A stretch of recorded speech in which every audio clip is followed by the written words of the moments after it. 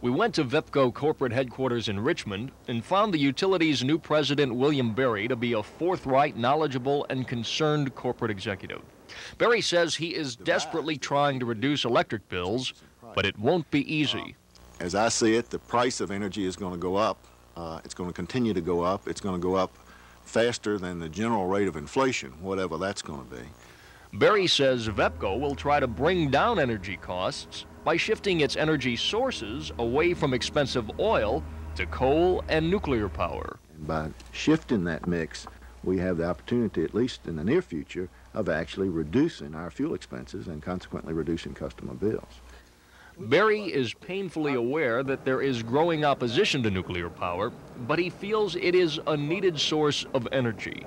To suggest that we can meet our future energy needs and reduce our dependence on imported oil without nuclear is just uh, not facing the real world. We're going to have to have nuclear, particularly on the east coast of the United States. The VEPCO chief exec says if society wants the benefits of nuclear power, such as reduced electric rates, then people will have to be willing to accept the risks associated with it.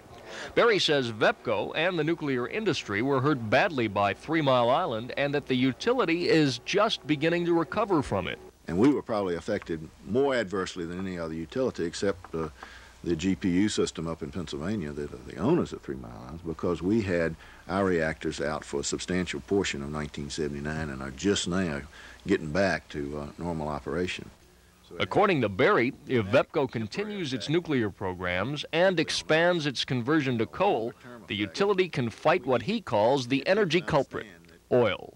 The, problems that are unique to us and that make us uh, uh, look bad by comparison to utilities around us are associated with, with fuel.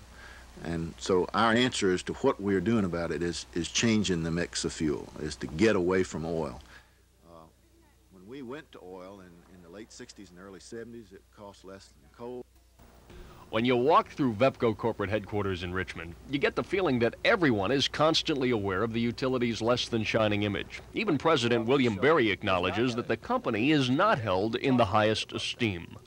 Well, I guess the word image is a little bit bothersome to me. It, it, it, uh, it gives you the feeling that we're trying to create an illusion, and that's not what we're trying to do. We're trying to uh, get candid, factual information to our publics uh, uh, as promptly as we, as we can.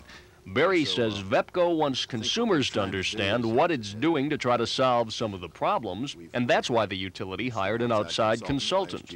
We got a lot of criticism for that, uh, but that's a case where we've got a problem, and we think we need to put the best resources we have on a problem, and, and that's what we tried to do. One recommendation the consultant made was to end the company's highly criticized advertising program. Although VEPCO did just that, Berry won't rule it out for the future. Another move intended to make the company more efficient is to cut the salaries of the top executives. Uh, what we have tried to do is to take the 150 of our managers who uh, really control the company's purse strings and uh, try to provide them with an incentive program to help uh, us uh, reduce our costs. But if the company has a good year, the salaries will be restored, along with a bonus for doing a good job. Folks here at corporate headquarters are aware that VEPCO is an easy target for politicians. But Berry says when a politician takes a cheap shot at the utility, it sometimes can hurt the consumer more than it can help him. That goes with the territory, is, a, is to expect a few cheap shots.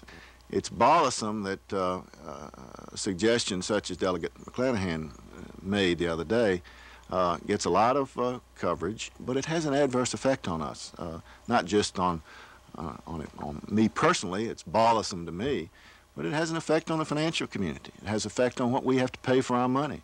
All of those things are, are not helping the customer. Helping the customer is what Berry insists the company will do under his tenure. And he says he hopes consumers will get a better understanding of VEPCO. I think what we're trying to do is improve uh, the public's understanding of, of our operations and what our problems are and what we're trying to do to solve them